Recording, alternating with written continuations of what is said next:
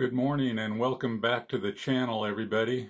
Today we're going to just do a little refresh on uh, using this Epever charge controller along with the remote uh, meter, the MT50, on programming a lithium ion phosphate battery. So let's get right on to it. So here both of those units are mounted on the wall. And if you've watched my previous videos, you've seen this configuration before. And one of the problems, it wasn't really a problem. I was trying to decide whether I wanted to use the uh, preset uh, programming on the MT50 for the for the battery or go with the user settings. So after a couple of days of messing with it, I decided that the uh, the gel setting was pretty nice, uh, except for the floating at 13.8. I didn't want it floating at 13.8. So I played around with the parameters a little bit more and decided to go back to the user setting. And it took me a little while to figure out exactly what I wanted on that. But I think I've got it now, and it's been working for a few days just perfectly at this setting. But I'll show you what I had to change in order to make that uh, work perfectly. So the temperature compensation coefficient I set to zero. And there's the overvoltage discharge, the charge limit. Overvoltage reconnect equalized charge, which the equalized charge is uh, really irrelevant because we uh, do, not use an equalized setting or uh, we never let it equalize. And I'll show you how that is set. so here's what I want. I wanted the boost at 14.2 and the float at 13.5. That's what I was most comfortable with with this particular battery. So this is where I have the most problem.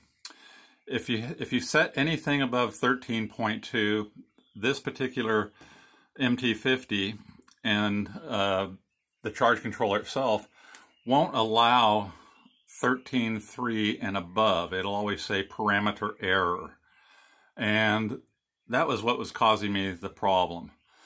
So once I once I got it set to 13.2, then everything worked perfectly. So that's what I had to do. And then the low voltage reconnect, 12.6. Under voltage reconnect, 12.2. Undervolt warning, 12. I'm not really as concerned about these because I'm, this battery is probably never going to get drained that low. Low voltage disconnect, discharge limit. So here's the course, and I've gone over this before. Just set your equalized time to zero. And I've just got 10 minutes on my boost time. So once it hits 14.2, it just tapers off the incoming current uh, for 10 minutes. And then uh, the battery will uh, go down and uh, float around 13.5.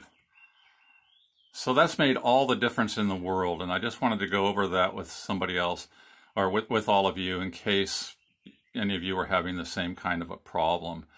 I didn't like the, uh, actually, I did like the gel settings, except for the float part. 13.8, I just didn't want to float it at 13.8.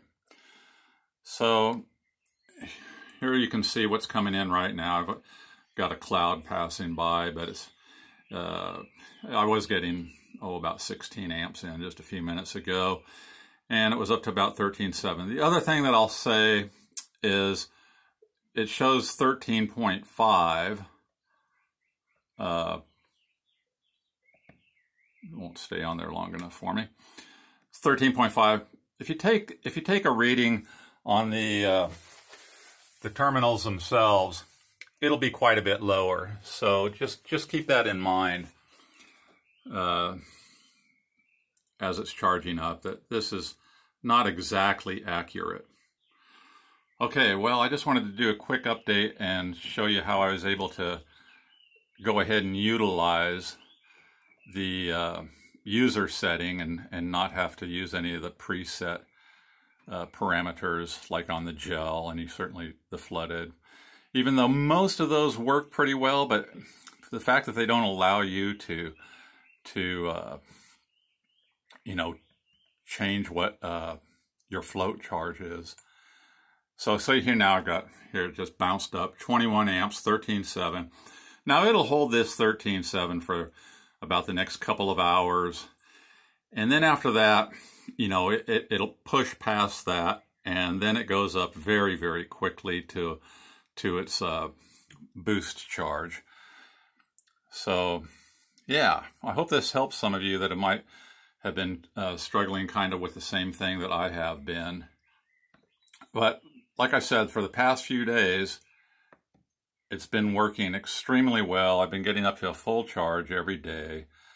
And that's even with a little intermittent uh, clouding. So very, very happy. And I've yet to see this on a discharge cycle ever drop below 13.2.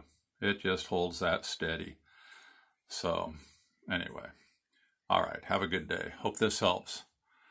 Go ahead and smash that thumbs up if you feel for it too. All right, take care.